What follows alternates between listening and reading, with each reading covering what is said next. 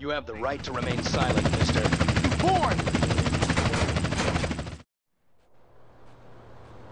You born!